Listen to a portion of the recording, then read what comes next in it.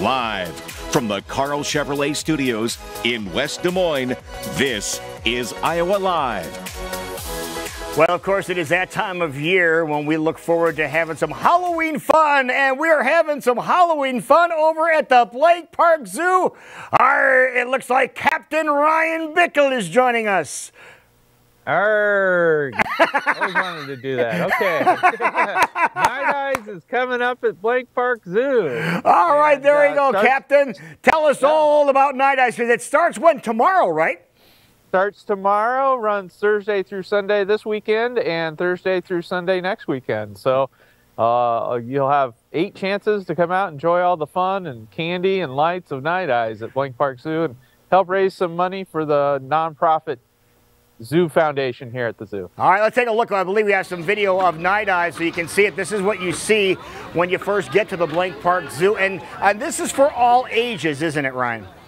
This is a great family event. Of course, there's the treat safari, the fun zone, you know, all the giant pumpkins and lights. And of course, you got to take a carousel ride or a train ride while you're at the zoo. And and then enjoy, you know, the gift shop always has a sale, so you can get some stuff in the gift shop uh, on your way out. All right, so uh, it starts tomorrow. It's the, the first yep. night of 2022. What nights does it run?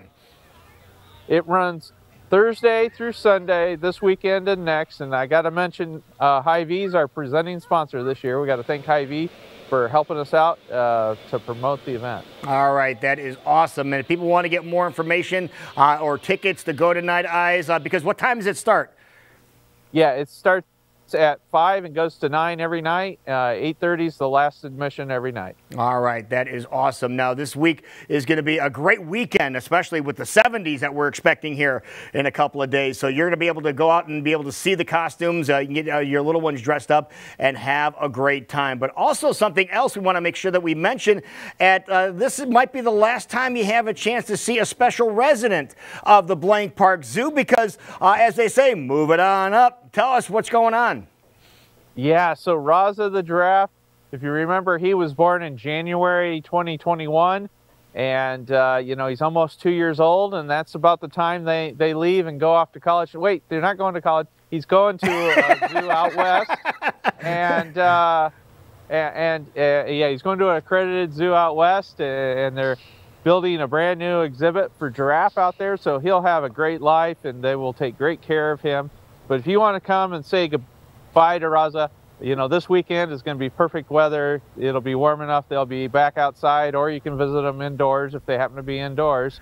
And you can see Raza, of course, you can see Bakari, the baby giraffe, as well. All right. So uh, now, uh, you say about a year and a half old, a little more than a year and a half old. Uh, is this about the normal time that giraffes uh, are separated from their mothers?